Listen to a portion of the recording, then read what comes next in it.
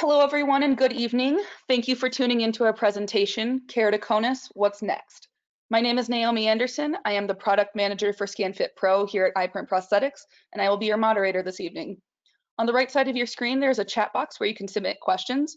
We are very excited to hear what you guys have to ask us, and anything that we will miss, we will try to respond to within 20, 72 hours. We will be recording this uh, webinar and mailing this out as soon as it's available online. Um, that should be within the next 24 to 48 hours as well. I would like to mention that there are a few topics that we will not be discussing this evening, such as things about insurance, questions about your specific diagnoses, and questions about pricing. These should be directed to your individual practitioners. Lastly, before we get started, I would like to give a shout out to the National Keratoconus Foundation for all of the phenomenal work that they do every single day. We are honored to have their support for tonight's presentation. EyePrint is hosting a fundraiser that will be active until midnight tomorrow we're trying to raise $500, which we'll be matching as our company and donating it directly to the NKCF. Please consider donating if you can. You can find the link on our Facebook page, EyePrint Prosthetics. Additionally, please check out their Facebook page, NKCF, if you're looking for more information. All right, let's get started. So joining us this evening um, are two very esteemed women in the field. Uh, let's start with Dr. Stephanie Woo. Dr. Woo was born and raised in Lake Havasu City, Arizona. She attended the University of Arizona, where she graduated magna cum laude with a degree in biology science education. After this, Dr. Woo graduated from Southern California College of Optometry with honors. She then completed a cornea and contact lens residency at the University of Missouri St. Louis, where she was trained to fit highly irregular corneas. Dr. Woo was a past president of the Scleral Lens Education Society and an adjunct professor at the Midwestern University. Dr. Woo owns her own practice, the Contact Lens Institute of Nevada, a clinic dedicated entirely to custom contact lenses. Thank you, Dr. Woo, for being here. Thank next, we have next we have Dr. Christine W. Sindt. Dr. Sindt is a 1994 graduate of the Ohio State University College of Optometry. She completed a disease-based residency, residency at the Cleveland Veterans Administration Medical Center in Ohio. Dr. Sindt joined the faculty of the University of Iowa Department of Ophthalmology and Visual Sciences in 1995 where she is still currently the director of the contact lens service and a professor of clinical ophthalmology. She also serves as a consultant for optometrists for the Iowa City Department of Veterans Affairs Medical Center. Dr. Sindt holds seven US patents and has over 150 publications. She has had numerous funded research grants and her current projects include elevation specific scleral lens design, higher order aberration control on contact lenses, ocular health associated with scleral lenses, and smart contact lenses once again, thank you both so much for being here tonight. Um, I think everyone's really excited for what's to come. So to start things off, Dr. Sindt, uh, she's going to introduce our company a little bit and talk about what we do here at EyePrint. All right, thank you, Naomi, for the for the introduction. Uh, you know, EyePrint is is sort of a culmination of working with people that had some very serious eye conditions that, to be honest, I didn't know how to handle. I have been at the University of Iowa for 25 years, just celebrate, celebrated my 25th um, anniversary there. And through that whole time, I have watched the development and, and worked really with the development of scleral contact lenses, but there was always things that held me back. And I kept thinking if I had more information, if I could look or think about the eye in 3D, I could develop these lenses and, and fit some of these so irregular eyes, not just keratoconus, but corneal transplants and uh, people who've had glaucoma surgeries and uh, just a host of other other issues. And really that's where EyePrint started.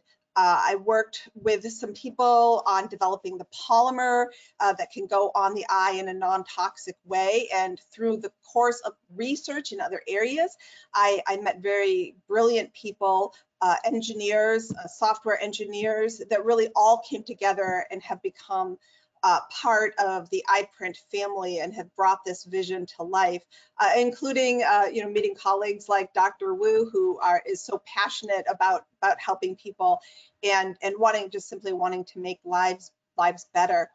Uh, the EyePrint process, we take an impression of the eye, we scan that into 3D space where we have the virtual eyeball, and then all the fitting really happens in this magic world of software uh, to create this 3D contact lens for the patient.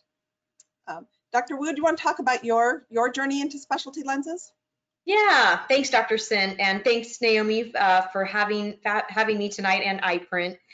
So it's kind of fitting for tonight because when I was in optometry school and going through the last couple years trying to figure out if I wanted to, to do a residency or not, and it was in my contact lens clinic that really sparked my interest in specialty lenses. So what happened was there was a, a gentleman who had come into the clinic and he had keratoconus. And he hadn't been able to see very well for many years. And uh, just thought that that's just kind of how it was. And and he he had really thick glasses and it just didn't really seem to be working for him. So that's why he was referred to to the school. And we fit him with a corneal GP lens for keratoconus.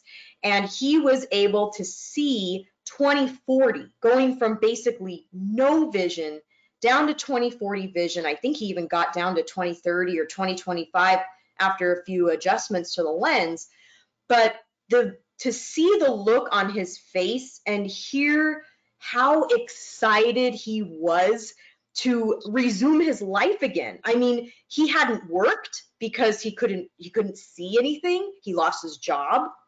He couldn't drive. You know, when you can't see the big E on the chart at the doctor's office, there's no way it's safe for you to drive. So he really got his life back, his freedom back. And I just thought, oh my gosh, this is something in, in optometry where you can really, really make a difference. And that is what solidified me into doing a contact lens residency. And I know for you, Dr. Sindt, as well, you have made your life's work all about specialty lenses. And you've been one of my mentors all these years. And it's it's fun that you know now we're like sisters and and uh, and just really good friends, and it's been amazing uh, working with you and EyePrint and all these other companies on for for keratoconus patients and and all sorts of specialty lens patients. Yeah, you know, it's it's interesting that you mentioned that because um, about all you know all these companies really um, everybody all the companies we all know each other and we all really like each other.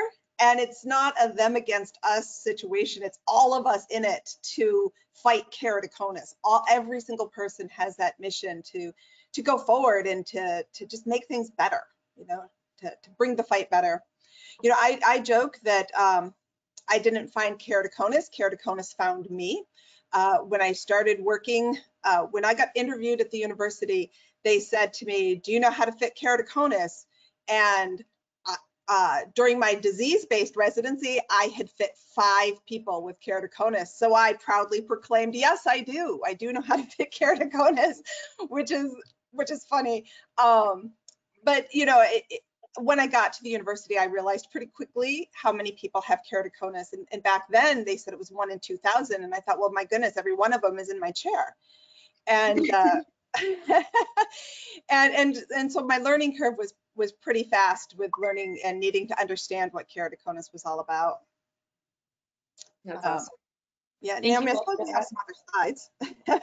we do, we do indeed. So um, we'll skip through this one. That's just a little bit more about the company. Um, if we have time, we can go back to it. So you guys kind of got into this a little bit already, um, but this is the main question we got from people. This is why everyone is here tonight. Can you just talk about more about what keratoconus actually is, how it affects people's eyes, their vision? Um, Dr. Woo, would you start us off with this one? Yeah, yeah. So keratoconus, you know, that's what we're talking about tonight, and that's kind of the main focus of tonight's conversation. And as uh, Naomi has developed this beautiful presentation, but you can see on the slides here, different shapes of, of corneas. So when what we're looking at is basically if you look at the side of an eyeball, there's the very, very kind of window to the eye called the cornea. And the cornea is the very, very first place that light gets into the eye. So if there's anything going on with that, then there's there's going to be some issues with your vision. So as you can see with a normal cornea, you can see that it's pretty um, like round shape, you know, it's got like this normal type of shape. But with keratoconus, what happens is the cornea thins and steepens over time. And that's where you can see that corneal shape now compared to the normal cornea on the left is now starting to kind of bow out and become steeper. Um, some of the other issues, bullous keratopathy and corneal scarring, those are other issues that cause the cornea to have an irregular shape. And that is why the vision is distorted. We've got this shape that is not normal.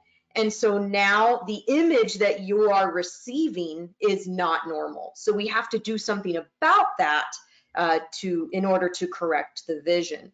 Uh, Dr. Sindt, any other comments? I think we really, at this point, we hit keratoconus up on two sides, diagnosing it and diagnosing it early, right? Because when we diagnose it early, and I think we're going to talk about this as we go along, there are some procedures that we can do, like uh, like uh, corneal cross-linking, you know, to stop it, to prevent it from progressing or, or furthering. So we want to diagnose, we want to diagnose it early, but we also want to treat the visual symptoms that we see from that. And that could be a host of, of things. Uh, and, and one of the things, of course, being a contact lens. So if you've got a bump on the cornea, you put a contact lens over it and it covers up that bump that's on the front surface of the lens.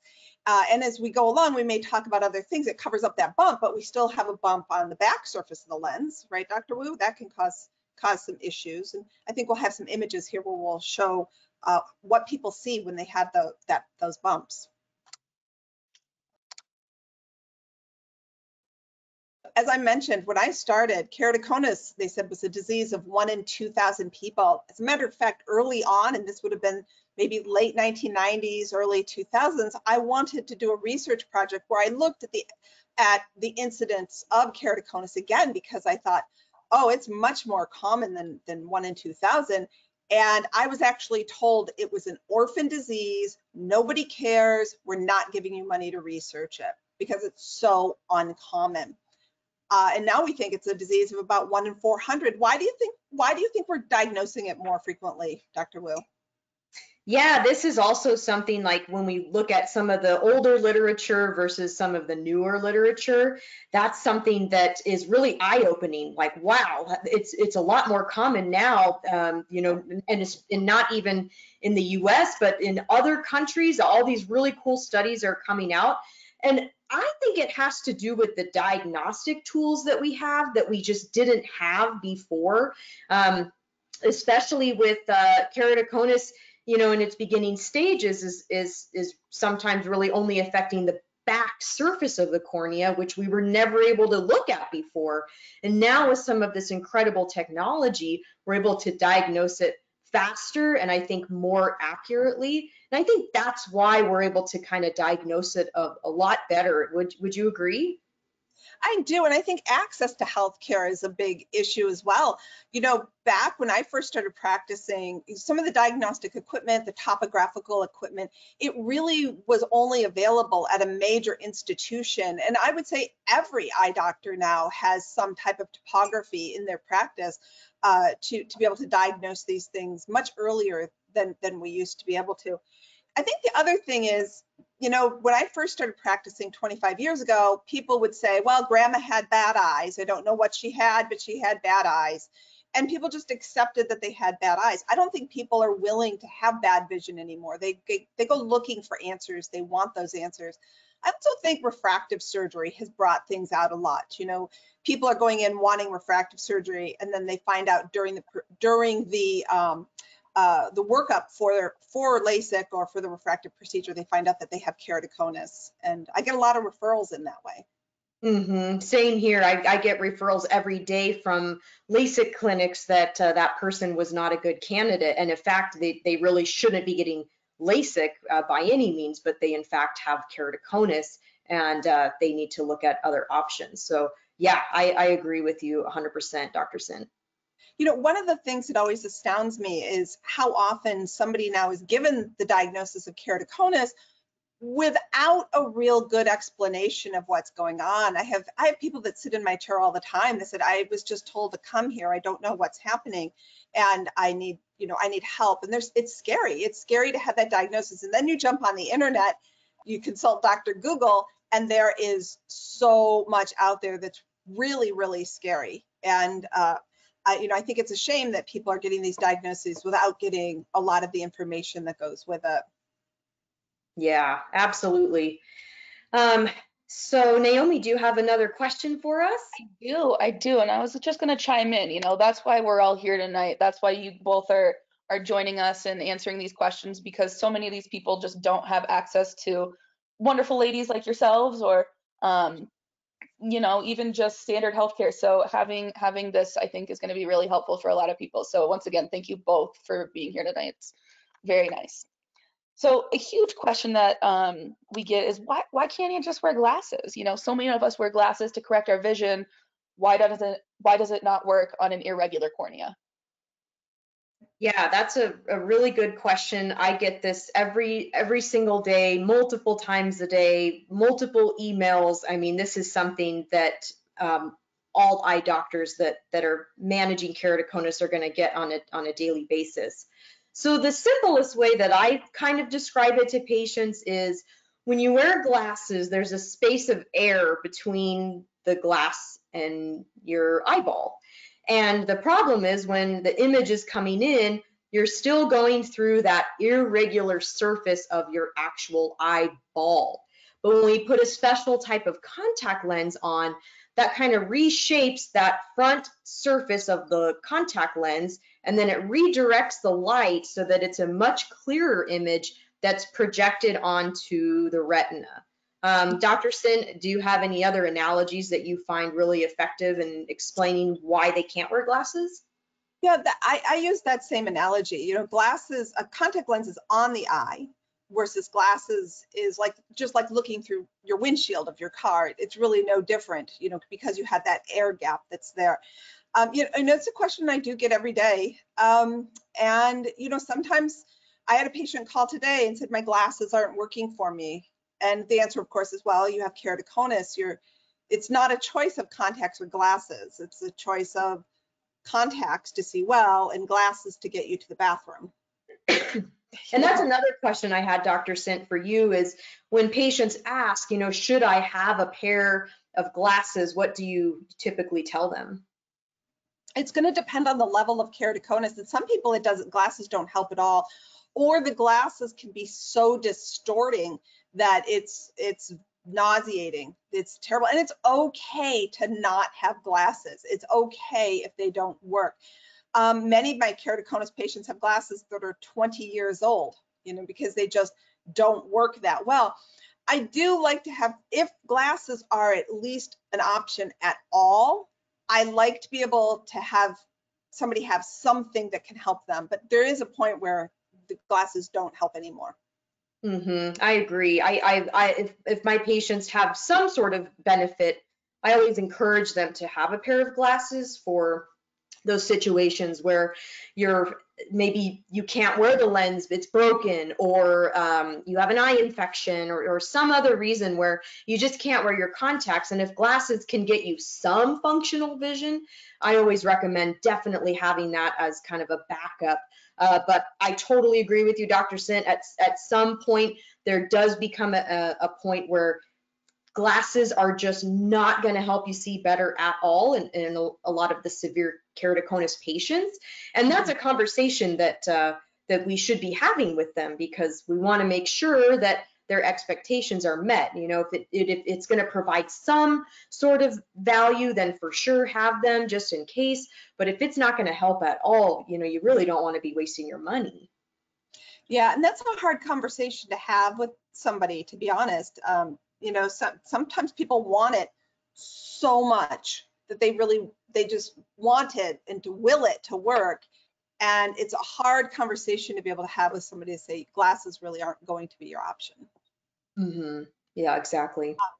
In this slide here, this is a good example. This is called a, of how a contact lens changes the optics of the eye. What we're looking at here is a point spread function. And so if you took a dot of light, what does that dot of light, that headlight, if you will, look like to somebody that has keratoconus? And the picture in the upper left-hand corner is an eye with keratoconus without any correction at all. And you can see that point of light is spread out. We call that coma. that is spread out and makes makes Christmas lights beautiful, but it is not a situation where you want to drive around, you know, like that. The bottom left-hand one is that same eye with a scleral lens on the eye. And so one of the things you're going to notice is it, it really condenses that point spread function. So this patient is much happier, but it changed the direction of that coma. So instead of the, the light going up and out, it's now going down and in on, on this, this patient. So it actually changed the coma. And this is because even though the optics condensed it, the optics are not perfectly centered over the eye. When in the, the picture in the upper right hand corner, if we just took those same optics and we center them over the pupil, we center those that the optics over that line of sight, you can see how it changes that, that coma appearance. And so sometimes people will say, I get my, got my new contacts, I see better, but it's not great in many cases, it's because we need to recenter those optics. And I think we're going to talk about them later on when we yep. talk about they're likely told they have a higher order optic aberration. Now the bottom one is where we have the centered optics, and then we add that little bit of astigmatism that that patient had, and you can see where we just brought that point spread function down to a dot again. So we have lots of ways to manipulate the optics, but you cannot do it in glasses. That upper left one is what you get in glasses. Awesome. Thank you for that, both of you. Um, Dr. Sindt, I would like to stay on optics just a little bit longer. Um, this is something that we've been working on for a while here at EyePrint, which is the ovate lenses. Um, could you go into this a little bit for us, please? Yes. So one of the things that I've we have discovered uh, when we started looking at thousands and thousands of people's eyeballs in the 3D space with these 3D images is that eyes aren't really round. Many eyes are actually oval in shape. They're, they're not round in shape, but we keep trying to put these round contact lenses on people's eyes. And it causes some fit issues and some optical issues uh, that, that we see. One of the fit issues is when you try to put something round on something that's oval, is we get these teeter-tottery points right at three and nine o'clock on the eye. So, so nasal and temporal. And the contact lens also falls down a little bit. It just drops down a little bit. And patients end up with a little bit of a red ring around their, their colored part of their eye. Uh, they might get some irritation out in the periphery of the eye. But if we take the contact lens and we make it the same shape as the eye, so not a round contact lens, but actually oval, we can center the optics up again and we can create a situation where we don't have that, that induced redness to the eye. And we can take the optics and move it around on the lens and actually line those optics up over the pupil again and get rid of a lot of that halo and glare and flare uh, uh on the eye. This is an example here of where we have the fit of the contact lens, but we can actually move the surface the optical surface separately from the contact lens part itself. So we can get the fit, the comfort of the eye, uh, and then we can move the optics around independently uh, for a better fit and for better, better optics. And Dr. Sindt, is this something that any contact lens can do, or is it specific to only certain designs? Um, can every keratoconus patient get something like this?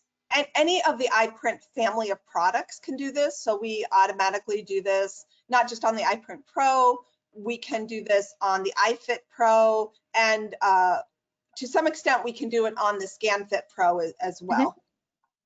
So we can do it yeah, on all, had, all, the EyeFit. We've all had the pretty great success, I would say, with the ScanFit and the decentered optics. They're slightly less irregular corneas for that matter, so it's not as um, important, not necessarily important. Dramatically, you don't Thank you. Yes. Mm -hmm. Yes. All right, let's move on. Um, this is a this is a really big question that we got that definitely can be concerning to people. Um, will will you go blind, blind from keratoconus, Dr. Woo?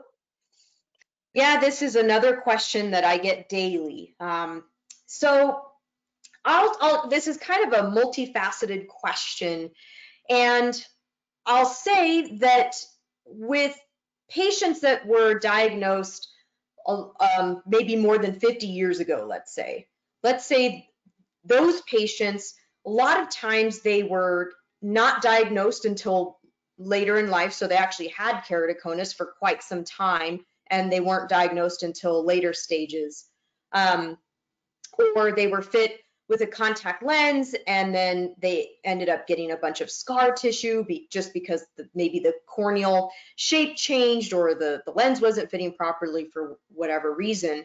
So I, I always tell patients that for the majority, you're not going to go blind from this disease, um, especially if you are uh, diagnosed early and if you do get a treatment to kind of stop or prevent the disease from worsening, such as, as cross-linking.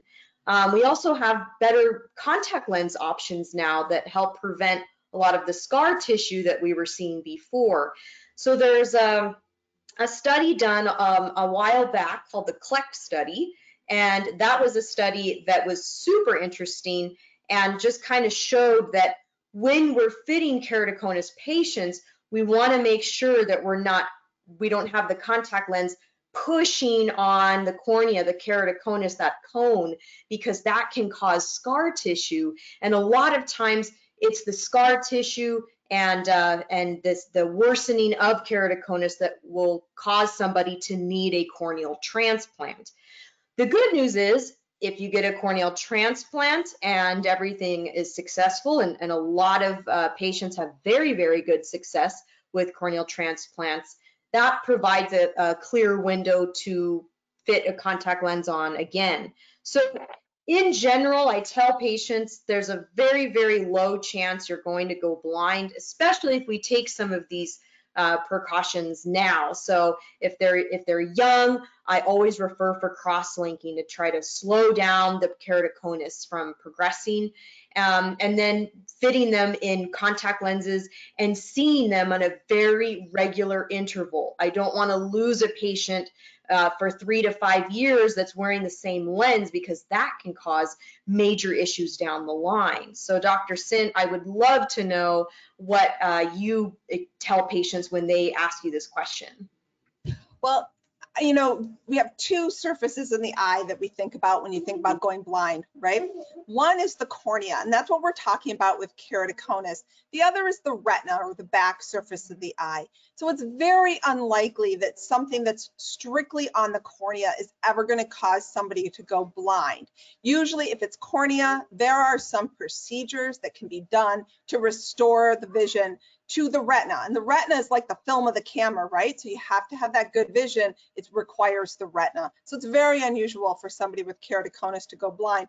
One of the questions that I do get uh, with some regularity is, I don't know if I want to wear a contact lens. I'll just go get the corneal transplant. And that's a, I think that is where we have to go, whoa, whoa, whoa, whoa, whoa, whoa. let's stop, let's talk, make sure you know what you're gonna get. A corneal transplant is an excellent procedure. And certainly the doctors that I work with uh, directly are amazing at doing corneal transplants, but it's not without risk. And I always say getting a corneal transplant doesn't cure you of the disease. It just takes one disease and essentially gives you something else to worry about. And in that case, somebody else's cornea that you now have to take care of fortunately, contact lenses have developed. I think a recent study showed that 90% of patients that used to get corneal transplants now can be fit successfully and comfortably in contact lenses. Uh, so it's it's unusual for somebody to not be able to achieve good vision, uh, especially if, if caught early and, and screened early. Wonderful. So Dr. Sindt, this is one that I would like to direct to you as one of your kiddos actually does have keratoconus. Um, this is a multi-part question. So the first off, um, is this something that can be passed down genetically?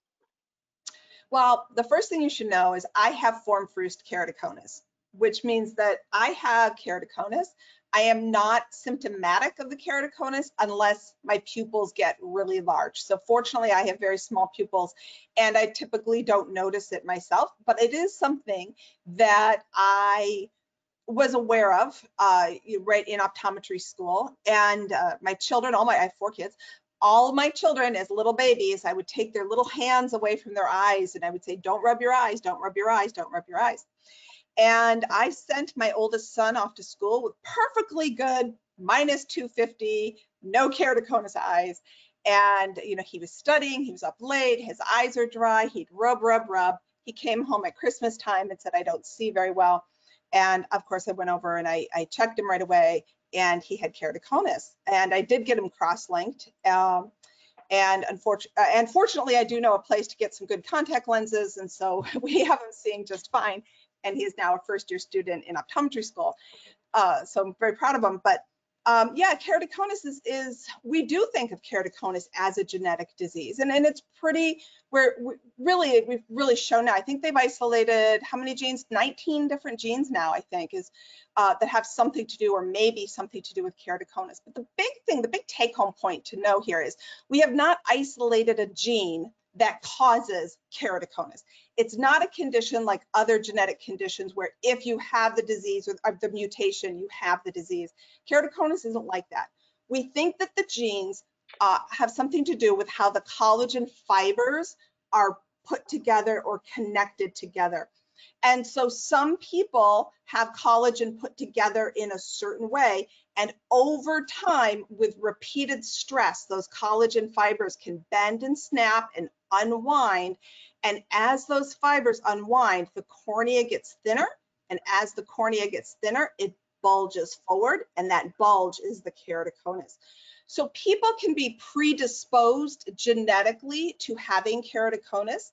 But then when you put other factors in, and the big factor is eye rubbing. So if you have allergies, if you have something else that causes you to rub your eyes, dryness, for example, then that can break those fibers, thin the cornea, and you can end up with, with keratoconus.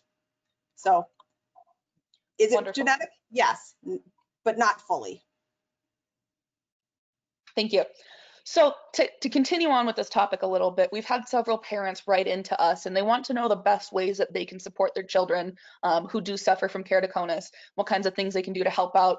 Um, some had mentioned things such as screen time, different sports they're playing in, surgeries like cross-linking.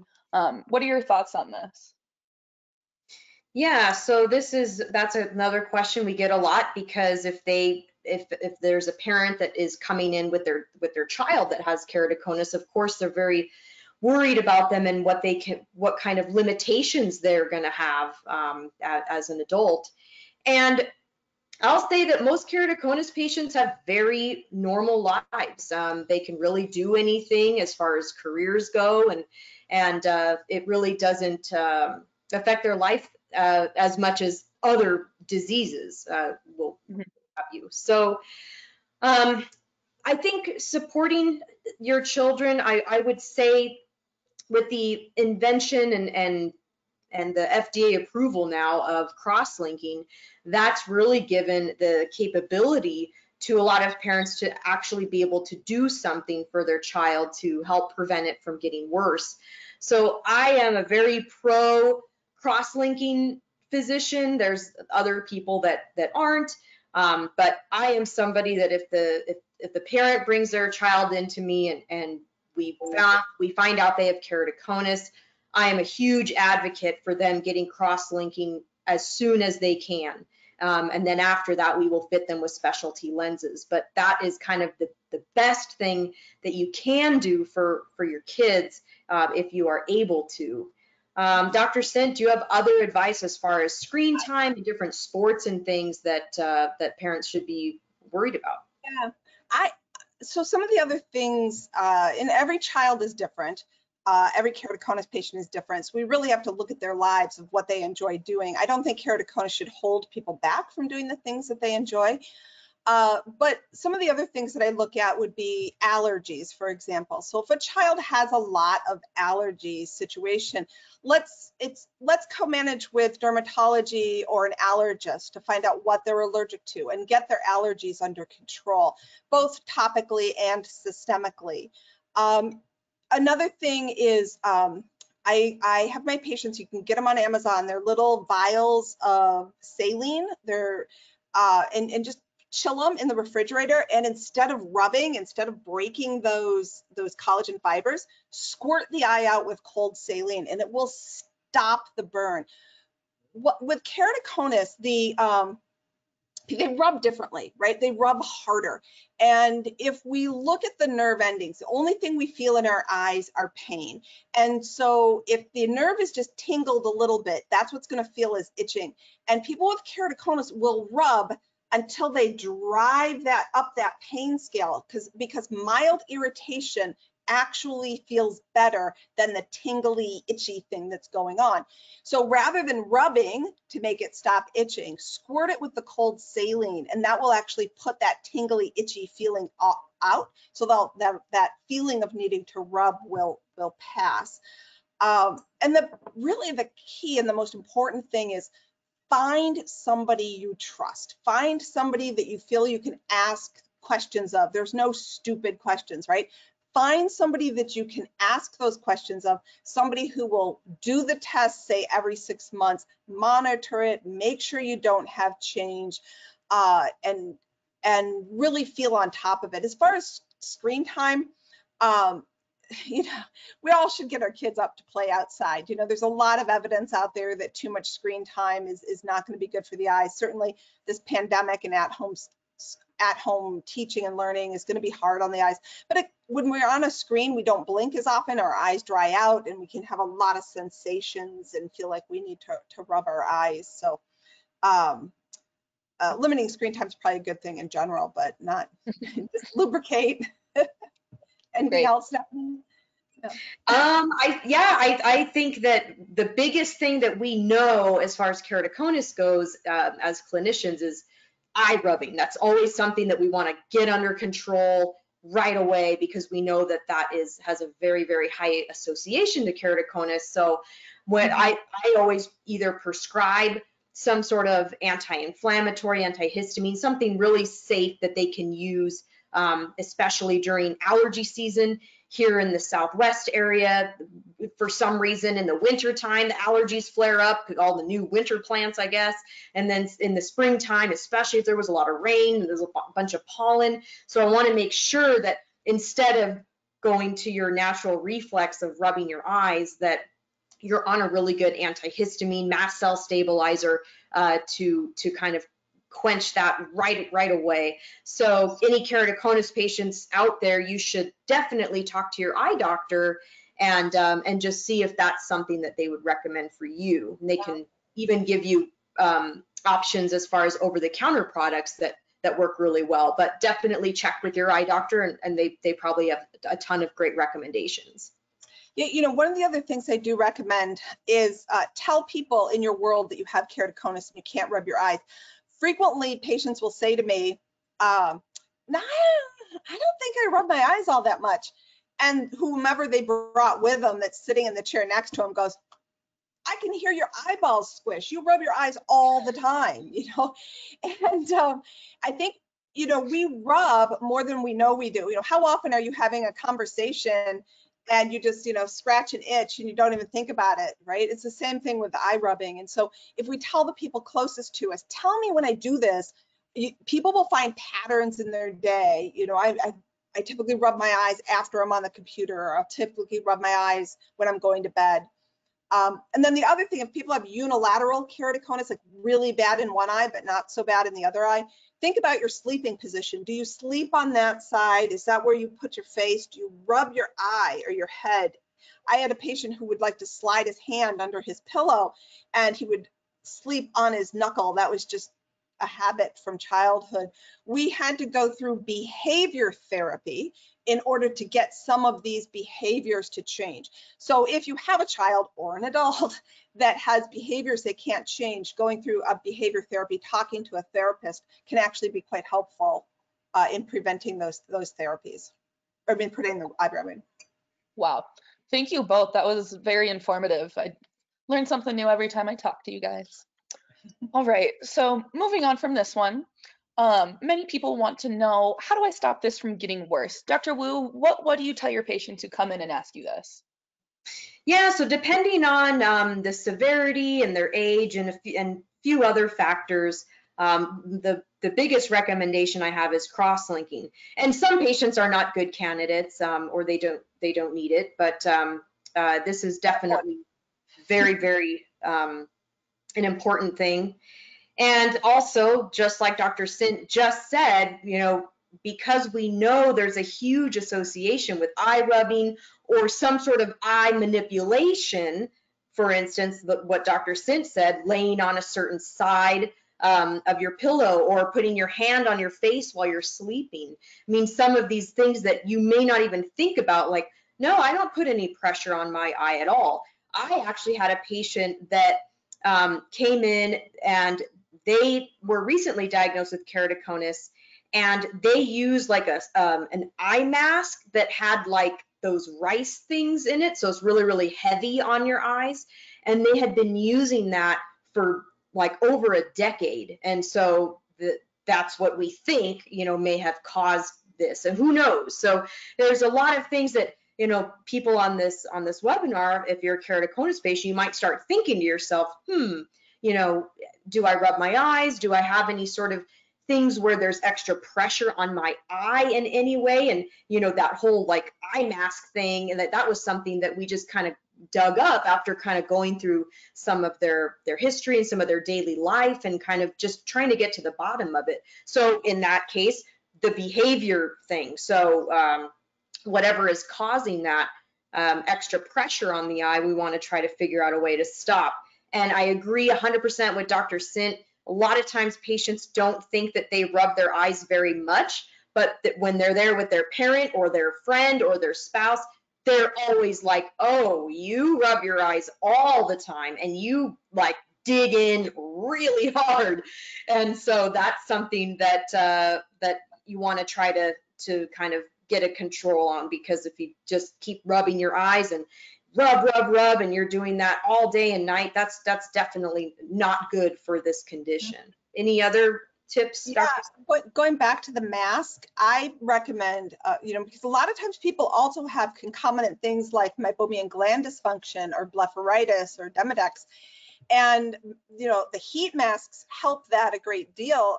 Um, I always recommend an infrared heat mask, a mask that you plug in uh, which gets the tissue warm but doesn't make you warm.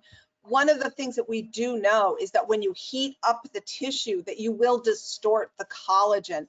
And so if you have a mask that you put on your eyes and when you take it off, you feel like your vision is different, you are applying pressure to your face. So I recommend the infrared masks, not, not the heavy masks, not the beaded masks or the weighted masks. That's an awesome tip. Is that something that you can just easily find online? Yes, uh, you know, if you go to the dry eye shop, uh, you can find them there. Uh, there's many of them online. Excellent. I love that. Mm-hmm. Awesome. Thank you. Or goggles at night. If you think you're an eye rubber at night, wearing some type of a goggle or a moisture chamber at night, sleeping sitting up in a recliner so that you can't roll over and sleep on your stomach. Uh, some of these behaviors can help uh, prevent the nighttime eye rubbing. Cool. Very interesting. Thank you. So I'm sure you guys often have patients in your clinic who have already worn lenses before. As a consultant, this is something that we hear all the time. What happens if a patient's already tried contact lenses in the past? Now what? This is such a great question because I know Dr. Sindt and I and any other doctor that treats keratoconus, they get this every day. I have so many patients, like probably half of my patient base is based off of this question where they were referred to me uh, because they have tried all these other options, it, it, you know, didn't work or all these different things. So I always try to get a really good history of when they were diagnosed, what kind of treatments they've done, what eye drops they're using, um, and then what kind of contact lenses they have tried in the past. Because that will give us as doctors some clues as to maybe why something didn't work. Um, that will kind of give us some indication on what um, may work and what what may not work. So a lot of times patients will come in and they will have um, issues because they tried soft contact lenses in the past and that didn't do anything for them. Well, with keratoconus patients, most of the moderate to severe cases, they are not going to really respond very much at all to a regular soft contact lens. I'm not talking about soft lenses that are custom made for keratoconus, um, but these standard soft contact lenses are just kind of like saran wrap. So think about your eye is shaped like this, it just kind of bloop, doesn't do anything for your vision. So that's a conversation I have a lot with patients. Um, a lot of times patients have um, tried corneal gas permeable lenses in the past and they couldn't get used to them because they were so, so, so uncomfortable. And even if they gave it an honest try and they just couldn't get used to them, then they end up in my chair. And so that gives me clues. You know, they've tried a corneal gas permeable lens before and they liked the vision, but they hated the comfort. Okay, now it's time to try something maybe like a scleral lens or maybe even a hybrid lens, you know, those kinds of things. So that kind of goes through my head of, of going through the process of what they've already tried and maybe kind of talk to them about some of the new advances in technology.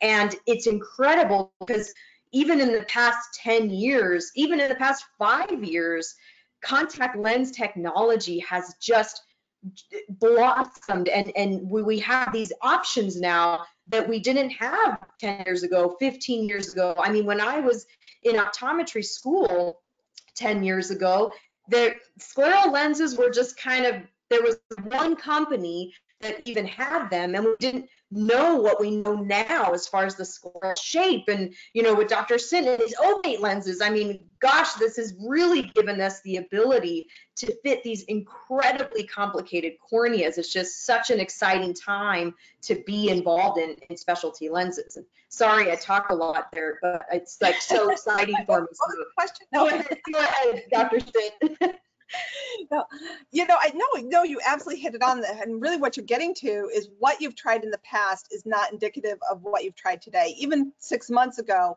we have new things to, to try today. You know, I find that um, really the way forward for me is listening to the patient's past. So when I really hear, I'm, I always try to read between the lines, not just what did you try, but what worked? Why didn't it work? What in your life? You know, I could have three rooms with three eyeballs that are exactly the same, but it's the people wrapped around the eyeballs and the lives wrapped around the people that indicate how I'm going to need to fit and what I'm going to need to fit and whether I'm going to be successful or not. People are much more complicated than eyeballs, to be honest. Your keratoconus is not the complicated thing. You are right? That's really what it comes down to. And, and my job is to understand that person, understand where they're coming from, where they want to go, and what's more important. And if I accomplish it all, I need to prioritize so that we are all on exactly the same page of what success looks like before we start. Because if I'm looking at somebody and I think success is I can get you to 2020 and you can do your job you know that's my definition but my patient's definition of success is i want to be able to wear the contact lenses 18 hours a day and or never take them off. We may not reach success. So we have to be very sure of, of what you've tried in the past but what success is going to look like or feel like or see like you know in the future. And that's from that point then we can work towards the future and, and That's a that really content. good point, Dr. Sindt. And I and any keratoconus patients on on this webinar, something that will really help your doctor is if you come to them and say, "This is what my my success would look like," or "This is these are my goals for for my lifestyle and my vision." That will help tremendously because if you have some expectation that we're not going to be able to get you to or, or or something that may or may not be achievable that's a conversation we need to have before going down the route of even attempting a fitting. And so if, if you're if you're on this call and you and you're thinking in your head you know uh, success for me would be to be able to uh, wear a, a lens four hours a day while i'm at work and then i can take it out when I get home and uh, just kind of fiddle around the house. I don't need it then. Okay, that gives us a really good definition of what you feel like success is. Um, one of my patients that I recently saw was doing amazing in his corneal gas permeable lens for keratoconus. Um, he saw great, the fit was excellent, but the, his major complaint was he works in a dusty environment and the dust gets behind that corneal gas permeable lens and is so irritating. He's got to take his lens off multiple times a day, and that became really cumbersome for him. So in that case, we said, okay, well, now we know what is going to be, uh, what is what success is for you and what's important for your lifestyle. So now I can fit you in a different type of lens, kind of based off of your unique needs. Right.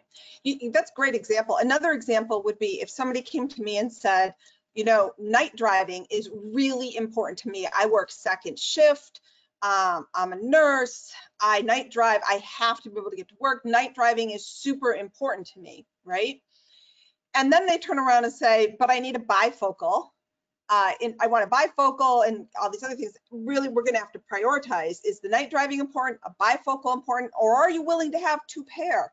right? The one that you drive in and the one that you wear at the office, because sometimes you can't achieve all of that. But knowing that ahead of time we can then strategize. And sometimes I do have patients, uh, I have plenty of nurses, for example, uh, this is a good example because I work at a hospital. They need contact lenses to be able to see the patient, the monitor, and charting. And while they're at work, that is their most important focal distance. And I get the contact lenses that they wear at work. But then when they're home and they're driving and they're doing other things, I have contact lenses that they see really well far away with and they use reading glasses for, for those times, right? I have teachers, for example, they need to be able to see what little Billy is doing over there. And then that kid that is, you know, has that piece of paper that they're like flapping in their face that's about six inches away. Like they have this diverse need. That's a different, uh, a different optical setup than I would do for a truck driver or than I would do for an accountant, right? So really understanding the person's needs, uh, again, and what success looks like and and uh, is, is very important. It's, it's, again, it's these people wrapped around these eyeballs that are more difficult. The eyeballs are quite straightforward. Definitely, no. definitely. So it sounds like, I mean, new options are just coming every single day, and you know, you should never give up hope. Um, you know, talk to somebody who's an expert in this kind of thing and see what options are out there for you. Awesome. Thank you both. All right. Um, Dr. Sindt, you were specializing in diseases for a while there. What are your thoughts on a cure for this disease? For a while. for a while. You know, I think I think the cure is early diagnosis. I really do. Um, I think you know a, a, lot of our colleagues are working on um, new ways to diagnose. Uh, for example, uh, uh, there is a procedure, a test that you can have done where it, it, it, basically blows a little puff of air at the eye and it indents the cornea. And the way the cornea changes with that puff of air can really detect very, very early keratoconus, right? So some of these, these features, looking at the posterior curvature of the cornea, not just the anterior curvature of the cornea, uh, looking at how the light is bending through the cornea, a lot of these things really help us diagnose it much earlier. And I think if we can diagnose these conditions before they start, that really is what the cure is going to look like. Again, we don't know exactly what causes this other than you have a predisposition and some eye rubbing. So if we can stop the behaviors, bring more awareness to the condition and diagnose it earlier, that to me, that is what a cure a cure is going to look like for this disease. Fantastic. Dr. Woo, do you have any thoughts on that?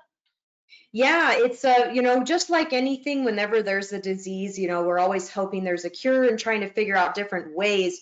And I agree with with Dr. Sindt, You know, we've got colleagues out there that are doing fantastic research and uh, trying to identify kids that may be at risk for this disease. And I think that if we are able to get to a point where they're screened early enough with the right equipment, then if you if you treat it um, early, then you're going to have a much better outcome and, and less issues with their their visual function over time um, as as they get older. So I agree that early detection is is going to be key for this condition, and uh, and then they they are finding ways to kind of identify kids that have these really high risk factors now. So it's really it's an exciting time for for medicine, and and of course we all hope there's going to be a cure. And I agree with Dr. Sindt. You know, early detection is is key.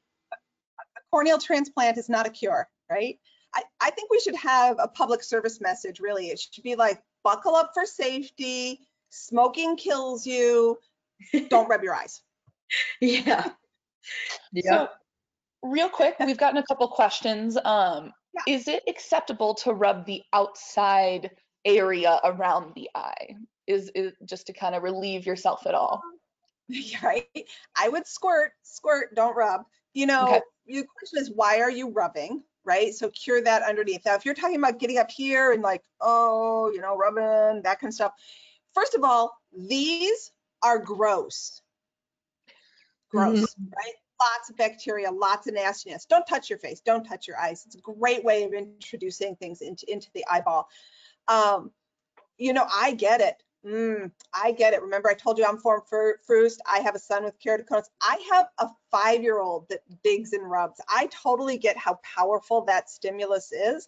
You need to stop the stimulus. So I would highly recommend drops, cold wash out antihistamine drops if you possibly can. Fantastic.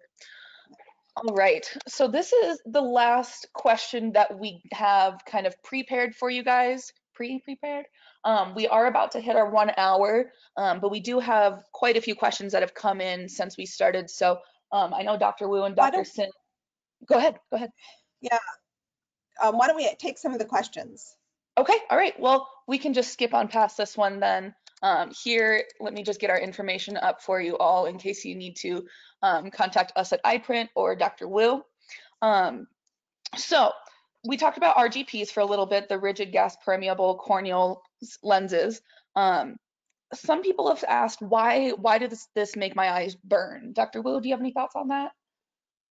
Why the keratoconus makes it burn, or, or I'm sorry. The, the RGPs, why do my eyes burn after wearing RGPs? Yeah, that's a good question. So a lot of times, uh, keratoconus comes along with other eye issues. A lot of my keratoconus patients have underlying dry eye. Um, and when you wear any sort of contact lens, it usually is going to make, make things a bit worse because the lens material, the contact lens material is always fighting with your eyeball for the water um, that's on your eye and the material will always win. so I always tell patients.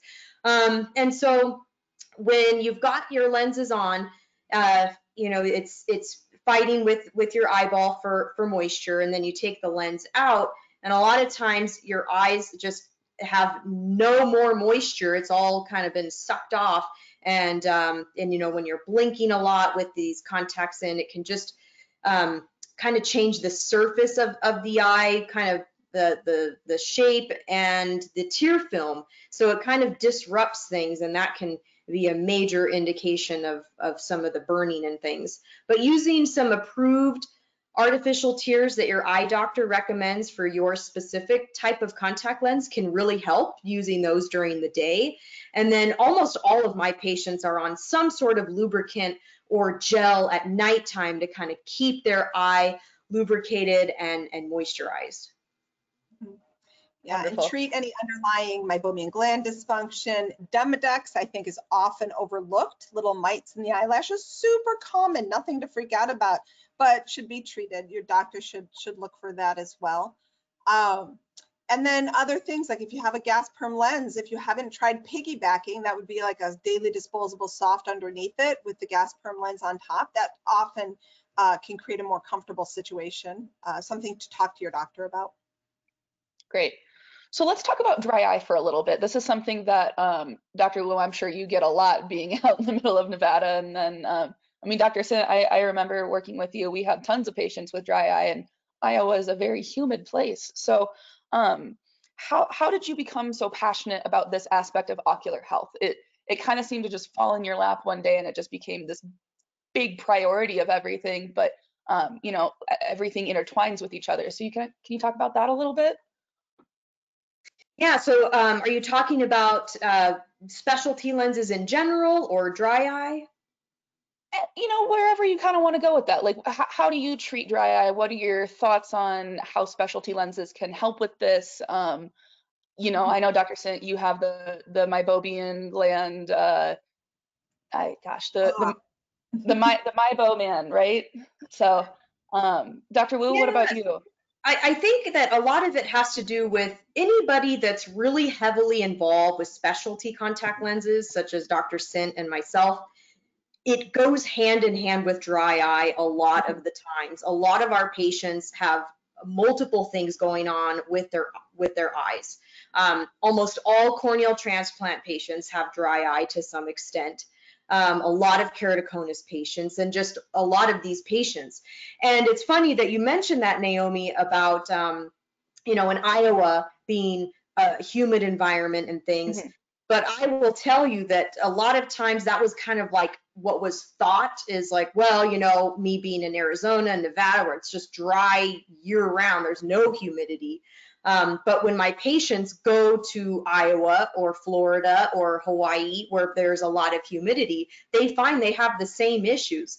And I think the reason is most of the time you're inside, right? You know, even if it's kind of hot and sticky outside, most of the time we're indoors where there's air conditioning and it doesn't feel hot and sticky like that.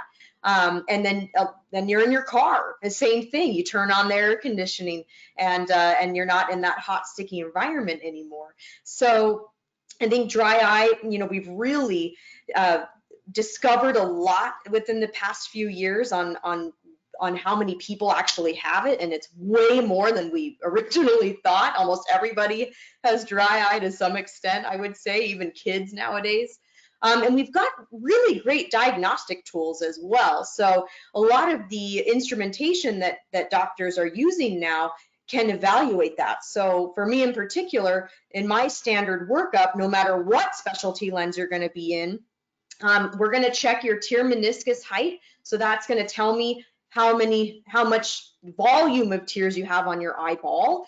Um, I'm going to check your meibomian glands. Those are the little oil glands in your eyelids. And we use a special instrument to look at those almost like an x-ray. And that can tell us how healthy they are um, and if there's any issues there. So we can, we can get on that right away. And we're also going to do tear breakup. So we're going to see how fast do your tears evaporate off of your eye? So these are all things that we really didn't do in a standard exam years ago. It wasn't part of a routine thing. But now that we've discovered so many patients have dry eye, now we're starting to do these things kind of automatically because we, we want to get to the bottom of it and we want to treat this right away. So with almost any disease, um, early detection is key and the same goes for dry eye. If you have dry eye, we want to get on that right away and we want to start treatment right away. You don't want to wait until it gets to that moderate or severe stage.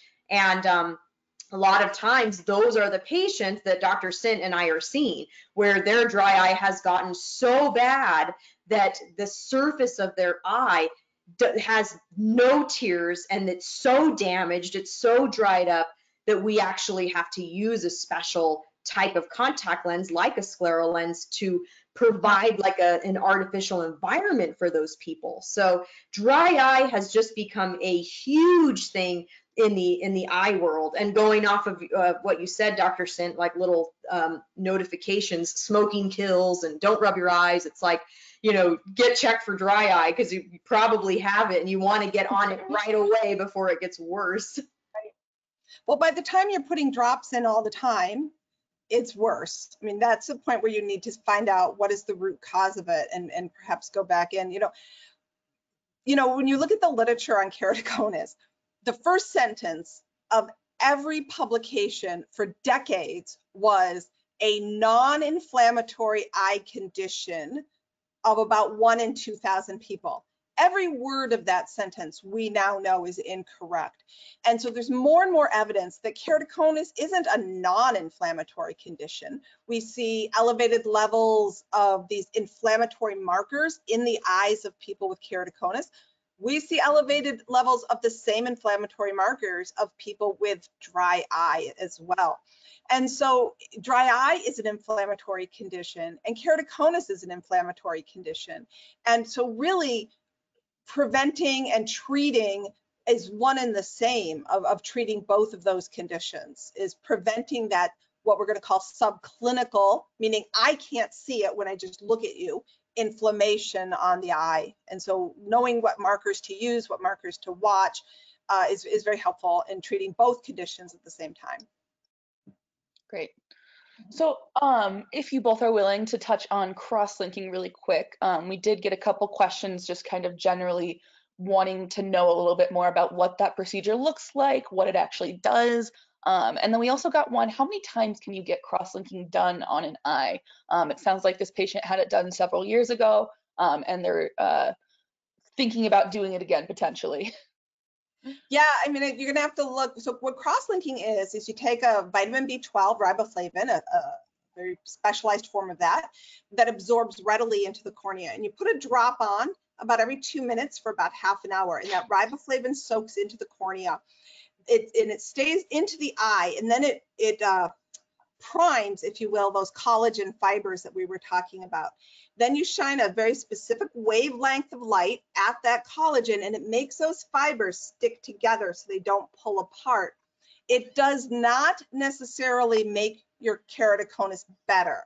The whole procedure prevents it from getting worse or hopefully prevents it from getting worse. Now, if you go back and you keep, it's like if you keep rubbing, you're going to get again. It's like people who have bariatric surgery. If you go back to your ways of eating, you're going to gain the weight again. So you still can't rub your eye after it, but it prevents it from getting worse, hopefully. Um, in some cases, it can actually flatten the cornea and change and make the vision a little bit better. Uh, but I wouldn't promise that to people, but in some cases that does happen. Now, as far as having the cross-linking done twice, we're really, in the United States, we're really new into collagen cross-linking. So we're only a couple years into the FDA approval here in the United States. Um, and so we don't have a ton of cases of re-cross-linking. I don't believe getting cross-linking twice is FDA approved. I could be wrong on that. Um, do you know, Dr. Woo? I don't think it's FDA approved, but I know that um, some patients have, will do it, you know, out of pocket. Uh, but uh, most of the time, the surgeons that, that I work with anyway don't recommend doing it more than once. Right. And now in the future, what we're really going to be looking at is some uh, topographically laser guided cross-linking where we uh, combined the collagen cross-linking with a topography with a laser. So basically we stabilize the cornea and then laser off the high points and the bumps, creating a smoother, more stable surface to the eye. And so that that's something that uh, people are doing now. Uh, uh, but it's very much in sort of the early phases uh, and, and, really considered kind of experimental at the moment. But you know, there are reports out there of it of it working quite well. Um, it's definitely not something that's widespread, but that's something to look for in the, in the future.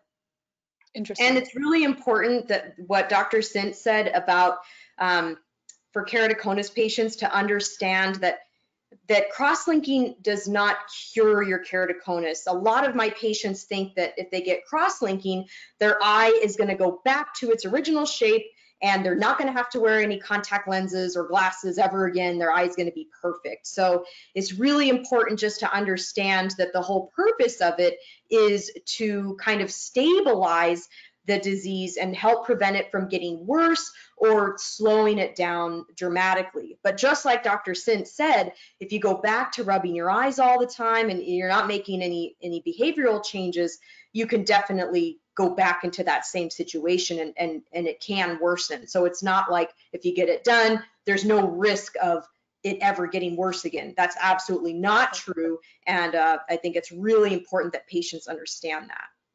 Okay. And the other thing is when we're more aggressive with the cross-linking, the younger somebody is, the more aggressively I'm going to recommend cross-linking. Really, once somebody's over 35 or so, we our bodies naturally start to cross-link. You know, I kind of joke with my patients, if you go to pick something up off the floor and your first thing you do is go, Ugh, when you go to pick it up, you're probably heavily cross-linked already. Um, and so, you know, we, we, and so we do see a decrease, not that you can't progress after 35, but we do see a decrease in progression uh, after that. And so I usually like to watch people over a couple of topographies to see if we have any, any change uh, in the topography. So it kind of sounds like you actually answered a question I was just about to ask you. Um, someone wanted to know if there's any advantage of undergoing cross-linking um, at an older age. So you're kind of saying about 30, 35 is about the time where you maybe wouldn't 35, 35 or 40, somewhere in 35 there. or 40. Okay, okay. So um, let's talk about corneal transplants a little bit because what, what what do you think? Is that sort of the next step from cross-linking? When do you know it's time for a corneal transplant, and how long can they typically last for? That's a great question. So the best person to ask would be your eye doctor. Um, so typically what will happen is um, the great news, like Dr. Sindt already mentioned, is a lot of these transplants have been avoided now with some of the advancements in specialty contact lenses. So a lot of patients that were getting transplants may not have to get a transplant because we've got such great specialty contact lenses available now. So we're definitely seeing that. Um, but if you do get to the point where maybe your keratoconus has progressed, maybe you have a very dense corneal scar and uh, you know we can't get you to the vision where things are going to be functional for you and of course every patient is going to be different then that's the time to discuss a corneal transplant. If we have done every single thing we can, we've done Dr. Sindt's decentered optics and we've done higher order aberration correction and we have the perfect fit. We have everything that we can possibly do and it's still not getting you to the vision that uh, that you're really satisfied with. Um, and it has to do, you know, because of the way the cornea is shaped or some scar tissue that is when we start to have the conversation of, you know what, I think it's time for a corneal transplant. And like Dr. Sindt said earlier in the presentation, it's really important to, to realize that getting a corneal transplant is not just a simple thing. It's not cataract surgery that, you know, a lot of your family members may have had you may have may have heard of in the past where you just go in, it's done, you take eye drops for a couple weeks and you never worry about it again. Transplants are something that have to be monitored very, very closely. There's always the chance of rejection. A lot of times patients are on eye drops for life and um, and a lot of times they will need another one depending on you know the health of the transplant and and uh, and a lot of times there's no way to predict that. I have a patient right now. She's on her seventh corneal transplant um, because of the condition that she has and she has to keep you know she goes in and gets another one every couple years because they just don't last that long. Other patients i have patients that uh, that have had the same transplant for 30 30 years which is a very um, old transplant. Um, i think in the literature and dr sindt you can definitely would know more than i do but um, i think the literature says like an average corneal transplant lifespan is between like 15 and, and 20 years. Um, Correct. And I would say that that is probably true clinically as far as what I see in my office. But uh, that just goes back to like what we were saying in, before is corneal transplants. This is not just, oh, I'm just going to get a transplant and be done with it and I'm, my vision's going to be perfect again. You have to realize if you get a transplant, you are most likely like 99% or 95%, you are going to need a specialty contact lens to see better. And that's just kind of the way that the cornea is shaped once again. So I think it's just really, really important for patients to realize that transplants, all of us are trying to avoid them. That's that's not the goal. It's the surgeon is not, they don't want to do a transplant if it can be corrected with a specialty contact lens. All of the corneal surgeons I work with, and I'm sure Dr. Sindt, they are always the ones that send them to me and say, hey, let's just see what kind of vision potential they can get with a specialty contact lens because they don't want to have to go down that route. That's not in the best interest for the patient. So just really, really important to, to realize the, the risks involved and, and you're still going to have to wear a specialty contact lens afterwards. But in many cases, it, it is something that you have to have done at some point in, in some patients. Yeah, so the risks include things like early rejection or late term failure of the graft. Uh, the endothelium, the inside tissue that pumps the water out of the cornea can fail. Um, and then we have to repeat or do a partial thickness transplant under it. You have a risk of glaucoma. Typically, you have to use drops for the rest of your life. Every time you pull a suture, it changes the shape of the eye, so it changes the vision on the eye. Um, I would say it takes most people about a year to recover from a corneal transplant, uh, but it really is a lifetime of maintenance on a corneal transplant. It's an amazing, amazing, if you, if you really need one, it can be absolutely life-changing. Uh, but if you don't need one, we really try not to have to have you have one. Very interesting. So kind of along these same lines, and we'll wrap it up here pretty shortly, Dr. Sindt. I know it's getting to be your kiddos' bedtimes here pretty soon. pajamas behind me. Um, can you discuss Intacs a little bit, kind of what they are and um, when they would be more of an option? So I think Intacs came around before you were even a doctor, Dr. Woo. I mean, they've been around a while now, haven't they? Mhm. um, you know, for me, Intacs are difficult. Um, when Intacs first came around, scleral lenses weren't very popular then, and I was trying to fit GP lenses over these Intacs, and it was very difficult. And they would often ex- extrude, like they'd get a little hole and they'd pop out of the cornea or they'd get infected. Uh, there was a rumor early on that, uh, oh, after you get Intacs, you can just wear a soft contact lens. I'm not sure who started this rumor, but I, I did at one point have to sit my cornea people down and tell them, stop telling people that. Um, and, and so I never had great luck with it, you know, but now they, now typically when they put them in, they don't put in two, they just put in one. Uh, and, and that seems to be just as effective. Um, it's easier with these customizable lenses like EyePrint.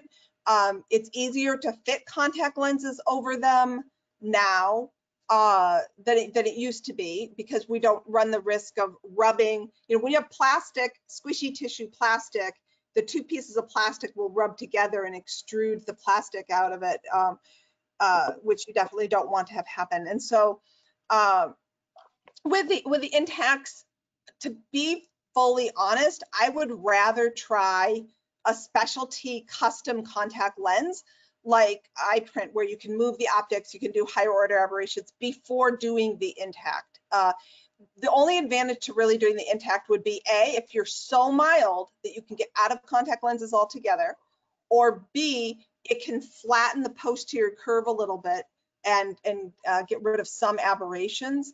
I would say the majority of Intacs that I have worked with, by the time they make it to the university level, to my level, we actually have them explanted and taken out. I don't know what, uh, Dr. Woo, what's your experience? Yeah, so um, I have found that, uh, the, well, the whole reason and the kind of what they taught us in optometry school is the reason that they did Intacs is because they wanted to try to center the cone um, and minimize uh, the cone so it's not so steep. So the whole goal was to put these little plastic pieces in the cornea to try to uh, stabilize it and kind of recenter it. But I agree with you in the fact that it's it makes not only contact lens fitting very difficult, and um, thank goodness we do have scleral lenses and EyePrint now because it was like near impossible uh, beforehand with some of the other contact lens options. But what I have also found is if the if, if the Intacs are kind of more central, kind of near their pupil, it really distorts their vision. So sometimes even with the absolute best fitting scleral lens or EyePrint, uh, the vision is still not acceptable because they're getting into that optic zone of where, where the Intacs are. And I've seen tons of patients that have neovascularization, which is um, little blood vessels that grow onto the cornea, which if, you know, if you talk to any eye doctor, they say, oh my gosh, that's, that's really bad. And that just makes our lives very difficult moving forward. So um, I know there's some doctors that still do it. Um, and I, I, me personally, I just, I, I don't think that'd be my first choice. Um, Dr. Sindt, I have a question for you that, that comes up for me all the time. What are your thoughts on getting cross-linking and Intacs? Well, that is something that, that does come up, that some people are saying, put in the intact, get cross-linking to secure it in that shape, and then taking the intact out. That concept has been around for a while, uh, quite a while, actually. At, at this point, people have dabbled in it. It has never really taken off. It you get certain people that get interested in it, and then it wanes away for a while, and then somebody else gets interested in it, and it wanes away for a while. I, I, I, um, I think that if it were that easy, uh, we would definitely hear a lot more about it. Um, it's an interesting research idea. Yeah, we'll see what happens. Yeah. Cool. All right, well, I think it's about time to start wrapping things up. Thank you both again so much for being here tonight. Um, I know I really appreciated it. Uh, all of EyePrint appreciates it. I'm sure all of these patients were loving it. So um, Dr. Woo, Dr. Sindt, thank you again. Um, thank you, the National Keratoconus Foundation, uh, for supporting us. And please, please, please consider donating to our GoFundMe if you can. Um, you can find that on our Facebook page. There's a link there. Um, Dr. Woo's website is the CLI Nevada. Um, and then our EyePrint website, you can find any certified practitioners on there as well. You can submit more questions that way as well. Um, yeah, anything else you guys would like to add tonight? No, just visit uh, visit uh, Dr. Woo's website, visit the EyePrint website for more information. And uh, you know, at this level, we're a small group of people, and we really are very passionate about this. Um, and uh, you know, nationally, the the top docs, we all know each other, and we're here to help you. We want to help you. So, thank you for joining us tonight. Yeah, thanks EyePrint for having me. Uh, Dr. Sindt and I have been good friends for a long time now, and it's a pleasure to get to lecture with her and, and educate some of some of our favorite patients. And like she said, uh, find a doctor that's really passionate about keratoconus and and helping you see better because you know you want you want a doctor that really gets excited about uh, having that type of patient on their schedule. And I know that Dr. Sindt and myself, among um, some of our other colleagues, you know, this is this is what we live for. This is what we breathe every day.